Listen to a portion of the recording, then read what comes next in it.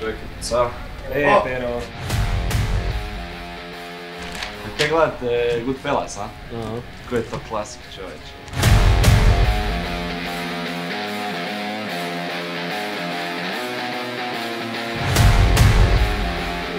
Ti si ono najsimpatičnija osoba koju sam upoznao u životu. Dajmo. Pa od tebe sigurno je.